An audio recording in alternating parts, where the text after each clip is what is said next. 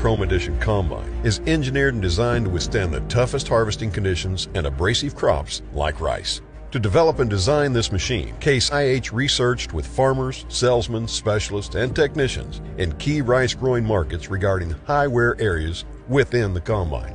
Significant improvements were made and incorporated into these high wear areas of the combine.